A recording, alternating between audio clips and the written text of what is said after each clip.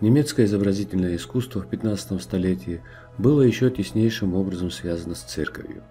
Ослабление его зависимости от церкви выразилось лишь в том, что произведения живописи и скульптуры освободились от архитектонической соподчиненности церковному зданию. Изображения отделились от стен и сосредоточились в одном месте внутри собора, монументальном алтарном сооружении. Тем самым живопись и скульптура получили возможность относительно самостоятельного существования.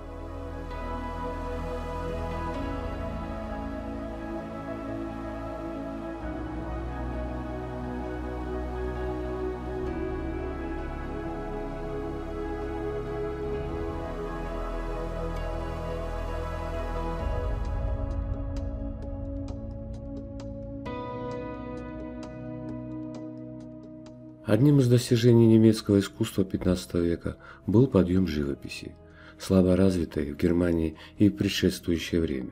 Но станковых картин создавалось в этот период еще мало. Ведущее место занимал алтарный образ. История немецкой живописи XV века является в первую очередь историей отдельных крупных алтарей, обычно включавших в себя ряд композиций, связанных общностью тематического замысла.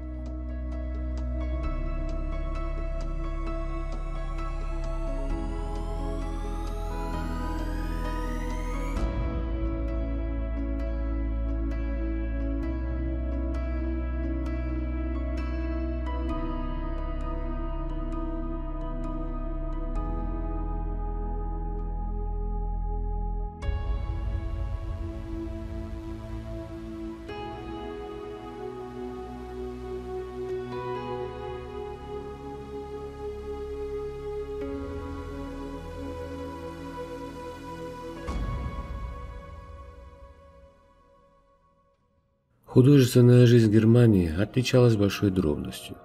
Разобщенность отдельных областей страны приводила к возникновению множества местных очагов искусства. Однако немецкое искусство в целом все же обладало известной общностью. Наиболее важным было то, что религиозное изображение потеряло свой отвлеченный спиритуалистический характер и со всей определенностью приблизилось к жизни. Главный акцент перенесен был на повествовательное начало и на выражение в религиозном сюжете живых человеческих чувств. Традиционные фигуры святых стали приобретать облик людей того времени. Причем очень часто людей из народа. Религиозные сцены насыщаться жанровыми подробностями. Все чаще выводились в искусство наблюденные художниками жизненные детали, чрезвычайно оживлявшие изображения, делавшие их более доступными для зрителя.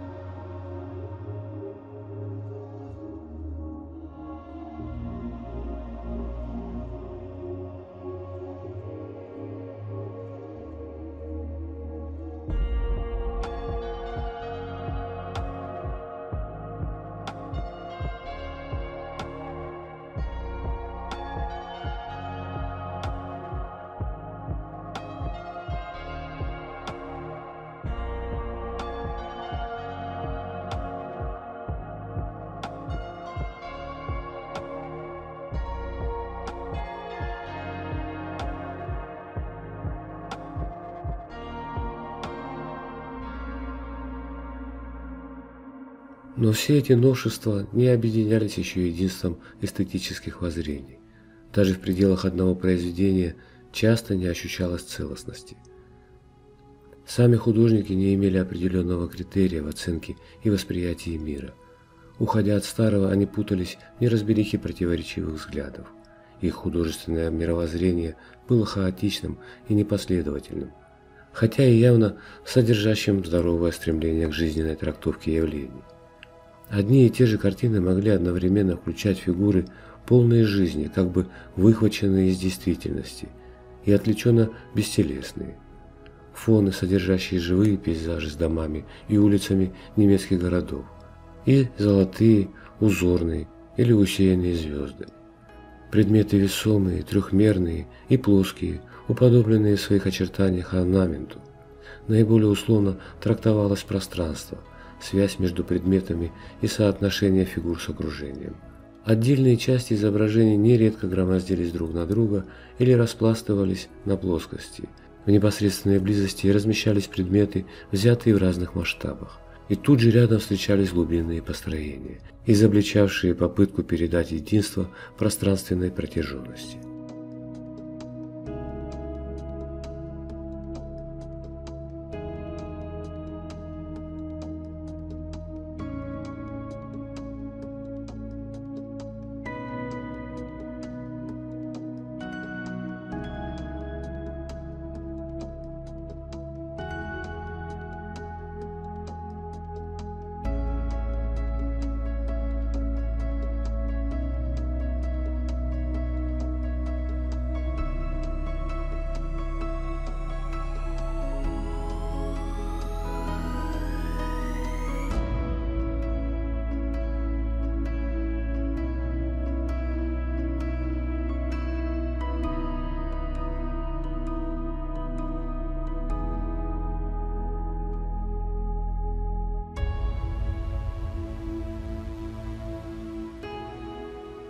Во всем этом было много костного, консервативного, но и много неосознанно живого и неожиданно свежего.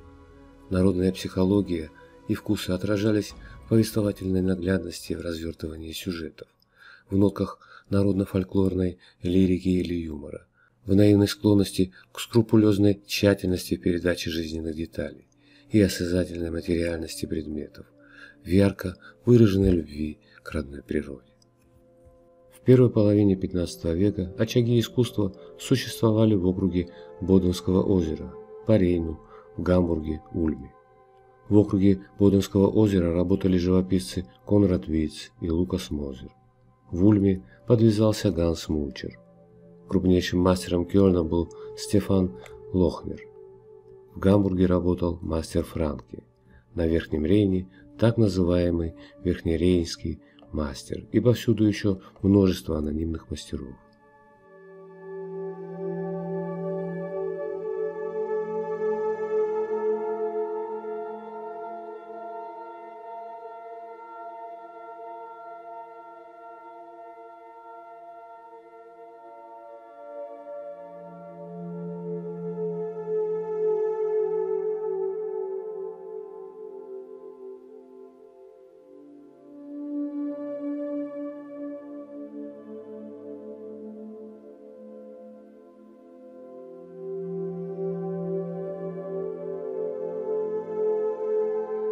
Весьма немногие дошедшие до нас достоверные произведения этих художников все же дают возможность составить представление о творческой индивидуальности каждого из них. Это свидетельствует, между прочим, о новом положении художника, о том, что средневековая система творчества, стиравшая художественные индивидуальности отдельных мастеров, теперь ушла в прошлое. Художник занял более почетное место в обществе, являясь отныне уже не рядовым цеховым ремесленником, а руководителем мастерской и уважаемым бюргером.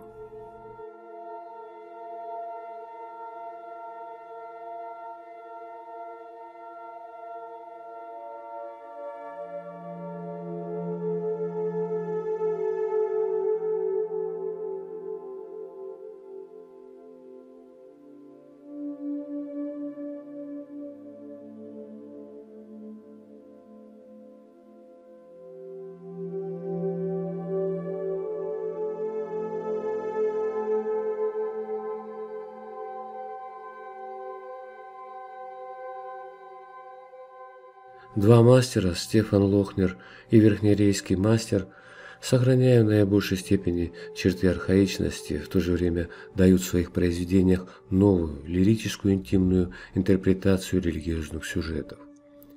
Их произведения полны наивной идилличности, заставляющей вспомнить стихи средневековых лириков. Таковы произведения Лохнера «Алтарь трех царей», «Мадонна в розовой беседке», «Принесение во храм». Этими же свойствами отличаются работы верхнерейского мастера «Младенец Христос в райском саду», «Мадонна на земляничной грядке». Со старым их связывает оттенок отрешенности и созерцательности в облике тонких фигур. У Лохнера склонность к орнаментальным фонам. Но лирический характер сцен, помещенных в поэтические пейзажи или окруженных цветами, мягкость плавных линий и нежность светлых радостных тонов у Лохнера, а также жизненность трактовки отдельных голов и деталей обстановки, особенно листьев и травы, вносят в изображение элементы свежести и непосредственности.